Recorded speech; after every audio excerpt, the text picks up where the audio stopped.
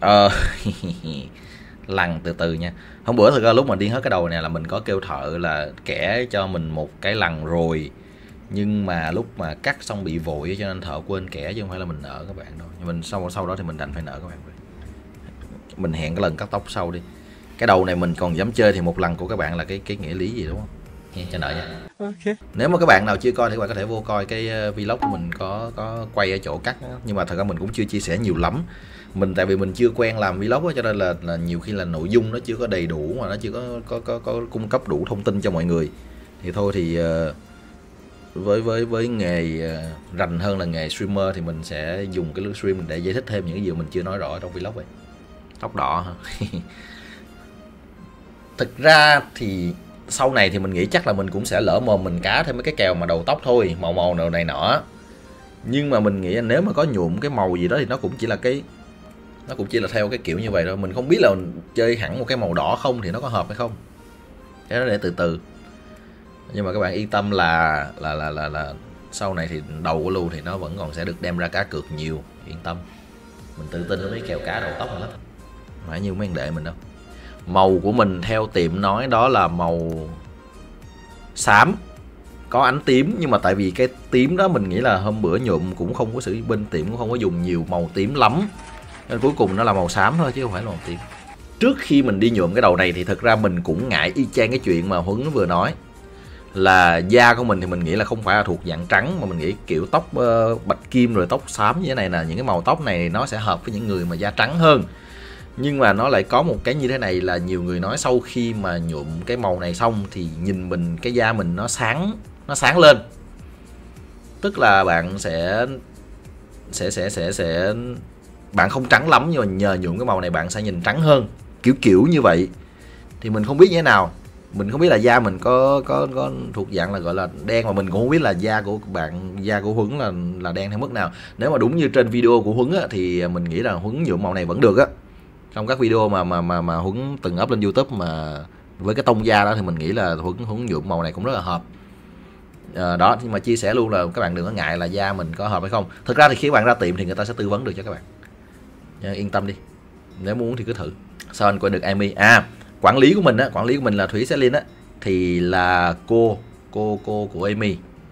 Tức là gọi là cô ruột luôn á tại vì uh, mẹ của Amy là chị của Thúy cho nên là Thúy là cô của Amy. Thì đó đó là mình quen như vậy chứ không phải tự nhiên mình cũng chả quen được Amy đâu. Sao mà có thể dễ dàng quen Amy như vậy? Em đang định nhuộm nhờ anh anh em đang rất có động lực. Ừ nói chung là nếu mà thực sự bạn muốn thử thì cứ thử thôi chứ chuyện nhuộm tóc thì mình nghĩ cũng không phải là cái gì đó nó quá lớn lao để mà băn khoăn đến như vậy cả. Cứ thử không được thì thôi.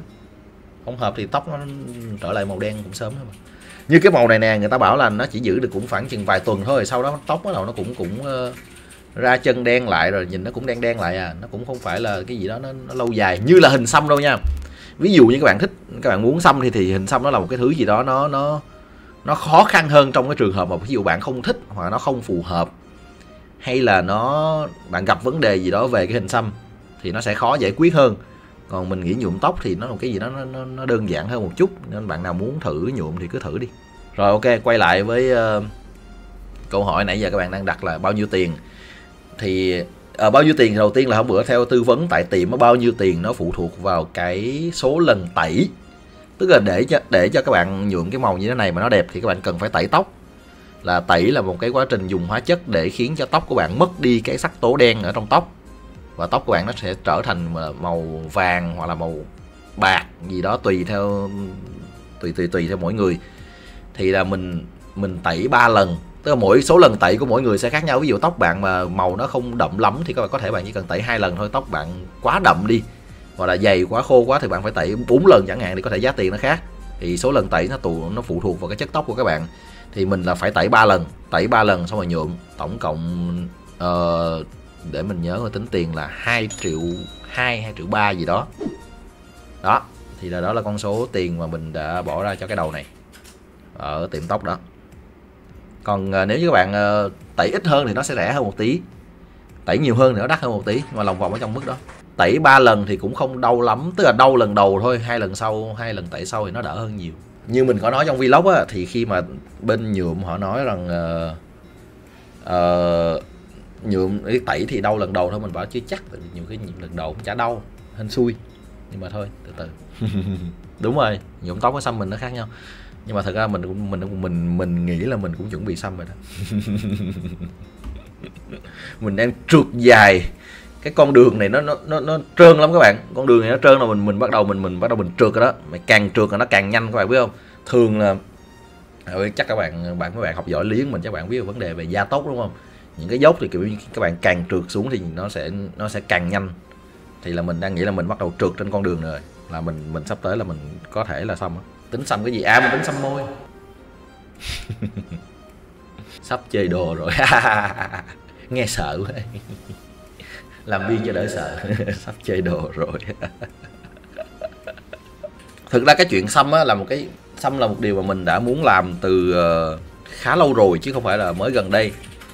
Nhưng mà kiểu như cũng cũng cũng cũng chưa có điều kiện và cảm thấy cái thời điểm nó cũng chưa thực sự phù hợp lắm nhưng mà mình nghĩ sắp tới nếu mà cảm giác là thuận lợi thì có thể là mình mình sẽ thử xăm đối với mình thì thật ra chuyện xăm nó cũng khá là nhẹ nhàng nó cũng không tới nỗi nào gọi là nặng nề lắm. Thì xăm nó như thế nào? Xăm nó đối với mình thì nó sẽ có hai xăm đối với mình chỉ có hai ý nghĩa thôi. Ờ, hai hai hai cái lý do để chính xác là hai lý do để một người đi xăm đối với mình. Đối với mình đi ha. Thôi mình nói hai lý do để mình đi xăm là một là mình muốn ghi dấu một cái gì đó nó có ý nghĩa đối với mình. Thứ hai là nó đẹp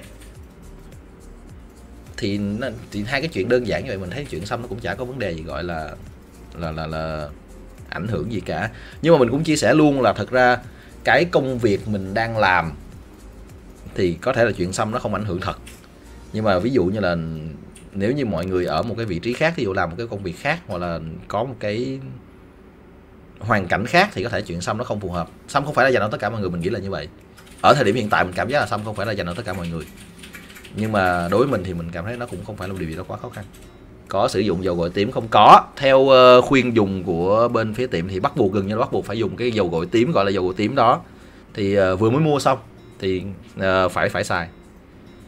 Mình nghe bảo là không chỉ, nếu mà kỹ nha, cái này thực ra mình nghĩ là kỹ thôi chứ mình không nghĩ là nó cứ bắt buộc là tóc tẩy nhuộm thì nó phải như vậy đâu. Nhưng mà nếu như các bạn kỹ và muốn tóc của mình nó khỏe thì tiệm kêu là lâu lâu đi là đi đi dưỡng đi hấp gì hả? Nói chung là đi tới tiệm thì người ta sẽ phục hồi hay là người đó làm gì đó với tóc của bạn cho tóc bạn nó khỏe hơn.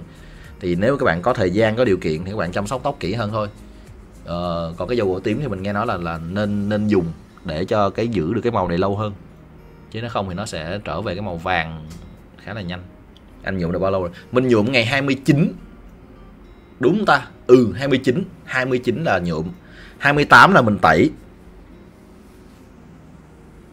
Ờ, nếu như các bạn có coi cái vlog mình 28 là mình tẩy hai lần nhưng mà tới lúc đó thì uh, sát tới giờ đi dự cái lễ công chiếu của Thiên Hình Hộ Mệnh rồi. Cho nên là mình phải ngưng lại để đi dự cái công chiếu đó thì mình tẩy ngày 28 và mình nhuộm ngày 29. Cảm ơn Hoàng Châu, cảm ơn Sẵn. Ờ, nói chung là bây giờ cũng may mắn là cái uh, tình hình cái tâm lý của mình nó chưa phải là quá nặng cho nên là tạm thời thì mình sẽ chỉ được uh, tư vấn là nên uh, nghĩ về những điều tốt đẹp và giữ cho tâm hồn nó thanh thản đừng có stress nhiều quá. Chứ chưa tới chưa tới mức phải cái gì đó nó quá nghiêm trọng. Nhưng mà khoảng sau một thời gian thì mình có thể mình sẽ phải đi uh, đi lại thử xem như thế nào để coi nó có tiến triển gì hay không. Thì tạm thời mình mình được khuyên là như vậy thôi. Nhưng mà bây giờ mình mới biết nha tức là cái này cũng chia sẻ thêm một chút xíu tức là cái giá về tại vì mình hôm bữa đó là mình có hỏi một chỗ là là là là cái phòng khám là như phòng khám tư. Thì cái mức mà khám tâm lý có hẹn giờ đó nó mình cảm giác là nó tương đối cao. Ờ, mình không nói cụ thể nhưng mà nó ở tầm như là bao nhiêu ta? 600 700 ngàn gì đó một giờ tư vấn thì phải, khám tư vấn. Thì cái mức khám là như vậy. Thì mình không biết các chỗ ví dụ như bệnh viện công thì nó như thế nào, nhưng mà cái chỗ tư đó mình đi thì nó là như vậy. Thì là cái vấn đề khám tâm lý của mình tạm thời nó là như vậy, để coi sau này nó có tiến triển gì hay là sự thay đổi gì thì mình sẽ cập nhật thêm cho các bạn. Bị gì hả mình thì mình cũng chia sẻ với các bạn là trong khoảng thời gian vừa qua thì mình bị một cái là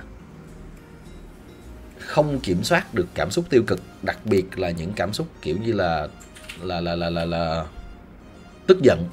Và khi tức giận lên thì bị mất kiểm soát cảm xúc và mất nó dẫn tới mất kiểm soát hành vi nữa. Thì nó hơi nguy hiểm một tí. Mình không phải là mình chưa tới mức gọi là trầm cảm cũng chưa tới mức gọi là rối loạn tâm lý. Mình thì mình nghĩ là nó thuộc dạng gọi là kiểm soát cơn giận á anger management á ờ, thì là là nó ở cái theo hướng đó theo suy đoán của anh thì liệu CKTG năm nay VCS có phải đánh vòng bảng play-in như ngày trước không? Cảm ơn Hoàng Châu nha, nhưng mà câu này thực ra trả lời bây giờ thì hơi khó. Ờ, nhưng mà nếu mà anh nghĩ không sai thì chắc là chắc chắn là phải đánh khởi động thôi chứ không không vòng bảng vòng bảng thẳng tùy theo ví dụ như là thì đó bên phía đó quyết định cái cái thể thức của chung kết thế giới như nào hiện tại còn chưa biết nữa mà họ có thay đổi hay không thì hiện tại không biết nhưng mà cái khả năng là đánh khởi động rất là cao với tình hình dịch bệnh như hiện tại thì 99% có cơ hội về chung kết thế giới. Nói chung là bây giờ mình sau khi mà mình xem mình đọc những cái nói chuyện này nó hơi nặng nề một tí nhưng mà sau khi mình xem những cái hình ảnh ở Ấn Độ trong khoảng thời gian vừa qua thì mình cảm giác là cái chuyện uh, liên minh huyền thoại đi chung kết thế giới này kia thì uh, mình thấy nó cũng không không còn quan trọng bằng cái chuyện là đảm bảo rằng Việt Nam tập trung 100% cho chuyện chống dịch. Tại vì các bạn cũng biết là nước mình thì hệ thống y tế của mình thì chắc chắn là tốt rồi nhưng mà để mà đối phó với một cái đại dịch như những gì mà một số nước khác đang phải đối phó thì cũng sẽ rất là khó khăn. Cho nên là nếu như mà không được đi chung kết thế giới không đi các giải quốc tế mà để đảm bảo cho việc chống dịch thì mình nghĩ nó cũng chẳng phải là một cái vấn đề gì đó quá lớn so với chuyện mà chúng ta có được cái sự an toàn trước covid. Thì đối với mình thì bây giờ uh, nếu mà chung kết thế giới mà vset đi được thì vui không đi được thì thôi. Uh, nói chung có nhiều thứ quan trọng hơn reset hè bao giờ khởi tranh. Cái này mình không biết nha. Tại bây giờ mình không không phải là người uh, lên kế hoạch những cái này nữa. Nhưng mà mỗi năm thì gần như là không có gì thay đổi cả. Tức là reset mùa hè sẽ khởi tranh trong tầm tháng 6 à, ờ, thời điểm nào của tháng 6 nó sẽ tùy mùa. Có khi là cuối tháng 6 có khi là giữa tháng 6 nhưng mà nói chung là ít nhất là phải là từ giữa tháng 6 trở đi thì mới bắt đầu reset hè lúc nào cũng có suy nghĩ tiêu cực luôn lo âu thì có nên bác sĩ tâm lý không? Có. Nói chung là bây giờ mình cũng chia sẻ thêm về vấn đề này như thế này. Nếu như các bạn có vấn đề về tâm lý thì các bạn hãy coi nó như là một bệnh và cần phải được chữa. ờ à, vấn đề về tâm lý. Mình nghĩ rằng nếu như được thì tất cả mọi người đều nên chú trọng về cái vấn đề là sức khỏe tâm thần của mình. Nó cũng giống như sức khỏe bình thường thôi. Bệnh thì phải đi khám. Nhưng mà cũng có một điều là sau khi mình mình ở trong cái tình huống này thì mình cũng biết là cái chuyện đi khám tâm lý cái thứ nhất là nó chưa phổ biến ở tại Việt Nam. Cái thứ hai là cái mức giá hiện tại mà kiểu như vừa rồi mình đi khám tư nó cũng khá là cao. Cho nên là mình không biết là nếu như nó có thật sự là một điều mà tất cả mọi người có thể có thể làm được hay không. Nhưng mà mình nhìn chung thì mình nghĩ rằng bất kỳ một cái vấn đề về tâm lý nào như mà một bạn vừa nói lúc nào cũng có suy nghĩ tiêu cực và luôn lo thì mình nghĩ là nên đi khám tâm lý nên nên đi khám. Anh nói một chút về Grammar Super League đi. Rồi cảm ơn Sơn Phớt. Ok đây là vấn đề của Super League nha. Mình rất xin lỗi các bạn là mình mình là một thằng mà hay, hay nói những cái mà xong cuối cùng không làm được và đang nợ rất là nhiều. Cái Super League vừa rồi của bóng đá nó là một cái vấn đề mà nó có thể được đưa vào cái nội dung mà mình mình đang làm cho muốn làm để chia sẻ mọi người á, là về vấn đề franchise. Cái Super League được lập ra với mục đích đó là một cái mô hình franchise á là nó sẽ không có lên xuống hạng. Và nói chung là các đội sẽ họp lại với nhau tạo thành một cái hội đồng để vận hành cái giải đấu đó. Thì ờ, cái lý do tại sao mà các đội trong, các đội bóng ở châu Âu vừa rồi muốn làm, lập Super League tại vì họ cảm giác, thấy rằng là cái giải đấu quốc nội của họ không đem lại lợi ích nữa, đặc biệt là các giải đấu ở Tây Ban Nha với lại Ý, là tại vì nó không có đủ sức hút. Và khi không có đủ sức hút thì cái tiền bản quyền truyền hình của nó quá thấp và nó khiến cho những thằng như là Real là những thằng như là Juve thì nó đá giải quốc nội nó không được lợi gì cả và nó cái thu nhập của nó chỉ có thể đến từ những giải như Champions League mà thôi thì nó muốn tạo một cái giải đấu mà lúc nào cũng giống như Champions League vậy tức là là các đội mạnh đá với nhau nhiều và nó tạo ra một cái sức hút về mặt uh, truyền thông và kiểu như bán bản quyền truyền hình được nhiều. Nhưng mà nói chung là cái vấn đề này nó tương đối là phức tạp. Mình thì uh, mình thì nếu mình nhìn vào cái mô hình của thể thao Mỹ á hệ thống phân sai thể thao Mỹ, mình thấy cái, một cái mô hình phân sai nó không phải là quá tệ trong môn thể thao nào cả. Nó có những mặt tốt và những mặt xấu, nhưng mình thấy là như NBA nó vẫn hấp dẫn. Nếu mà vận hành tốt thì một giải đấu vẫn có thể hấp dẫn được theo cái hình thức phân sai hoặc là theo cái hình thức Super League vừa rồi. Nhưng mà cái này hơi dài, cái này hơi dài, cái này hơi dài. Hay hơi dài. Sẽ cố gắng, sẽ cố gắng làm một cái video về phân sai để chia sẻ cái góc nhìn của mình về cái cái cái vấn đề này trong thể thao với các bạn tại vì không sớm thì muộn esports cái vấn đề phân sai trong esports nó sẽ nó sẽ rất là liên quan ở tại Việt Nam.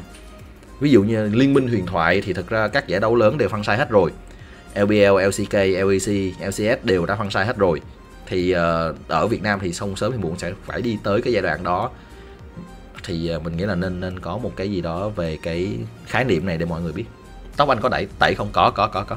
Kèo một lần là mình mình vẫn nhớ trong vlog mình có nói với bạn tại vì hôm bữa đó là mình mình đã nhờ bên cắt tóc cạo rồi nhưng mà họ quên. Tại vì gấp á, lúc mà cắt tóc là lúc đó mình gần phải đi tới giờ đi dự cái công chiếu của phim thiên thần hộ mệnh rồi cho mình bị quên á. Chứ bữa mình nói là cạo một lần dễ mà, kẻ một lần rất là dễ, chỉ cần lấy cái dao cạo kẻ vậy thôi xong rồi cạo đi một lần thôi, chả có vấn đề gì cả. Nó cũng chả phải ảnh hưởng gì cả, nhưng mà tại vì bữa mình nói xong rồi người ta quên. Lần sau đi cắt tóc mình sẽ mình sẽ kêu cạo. Mình nợ thôi cái nợ quan trọng hơn là kẻ một cái vạch vàng của gam. Hôm bữa mình đã thử nhưng mà mình không biết một cách nào để trả một cái vạch vàng cho gam nó nằm ở trên đầu mình một cách hợp lý cả. À, mình chưa nghĩ ra mình còn nợ cái đó. Chứ cái một lần dễ lắm các bạn một lần này rất dễ. Amy ngoài đời chảnh. Mình nói thiệt các bạn nha nếu mà gọi là chảnh thì nó sẽ có rất là nhiều cái yếu tố. Như mình nè mình chia sẻ thật mình không biết các bạn có biết điều này hay không. Là tới gần đây mình mới được nghe nhiều thôi nhưng mà mình là là một người trong giới mà rất nhiều người bảo là chảnh nhưng mà mình thề với các bạn là mình không bao giờ có cái cảm giác là mình chảnh hay là khó gần hay là lạnh lùng hay là cái gì cả. Nhưng rất nhiều người, không phải là một một người thì mình không nói, nhưng rất nhiều người bảo là mình chảnh. Nói chung là có rất là nhiều nguyên nhân, mình không biết lý do tại sao bây giờ mình chưa giải thích được. Nhưng mà cái chuyện mà bạn gặp một người hơi hơi nổi tiếng nào đó đi ngoài đường mà các bạn cảm thấy rằng họ chảnh thì thật ra nó cũng có rất là nhiều yếu tố, nhiều khi nó phụ thuộc vào cái tâm lý của người đó ở thời điểm đó. Ví dụ như như thế này cùng một hoàn cảnh, nhưng mình đã có những cái cách phản ứng rất khác nhau khi mà gặp một bạn nào đó ở trong cái cuộc sống thường nhật của mình. Ví dụ như thế này, mình đi vào thang máy và một bạn đang đứng ở trong thang máy nhận ra mình và chào luôn thì mình thề với bạn, có một lần mình không phản ứng luôn. Mình không biết là mình bị cái gì á. Thật sự mình không biết mình bị cái gì. Mình chỉ gật đầu. Mình như vậy, gật đầu xong mình mình quay lại mình nhìn để hướng mình nhìn ra phía trước mặt mình nhìn vào cái cái cửa thang máy. Và đi lên đi xuống nên đi ra xong mình không có bất kỳ một cái giao tiếp nào với bạn đó hết. Ngoài cái chuyện là lúc các bạn đó chào mình thì mình vậy. Đó. Trường hợp tương tự một bạn cũng chào mình chào luân. Ờ lúc đó mình à, chào em. Ờ ủa em ở đây luôn hả? Rồi xong rồi kêu hỏi xong rồi bạn ừ hỏi anh đi đâu rồi ừ, anh anh anh đi tập ở đây. Anh đi tập ở đây. Tại vừa đó mình đi tập. Tức là cùng một cái thang máy đó cùng một cái hoàn cảnh đó, mình phản ứng rất khác nhau. Có thể là ngày hôm, ngày, cái ngày mình kể bạn trước là ngày đó mình bị khó chịu cái gì đó, mình đang gặp vấn đề, mình đang suy nghĩ gì đó, mình không thực sự mình để ý xung quanh lắm. Thì ờ, đó có thể là một trong những lý do mà các bạn gặp một ai đó mà các bạn có ấn tượng người đó khó gần, người đó kiểu như khinh khỉnh cái gì đó. Nhưng mà mình cũng chia sẻ một cái cái, một cái điều rất là thật với các bạn như vậy. Thì nhiều khi để cho bạn thông cảm cho một người nào đó khi mà các bạn tiếp xúc với họ bên ngoài.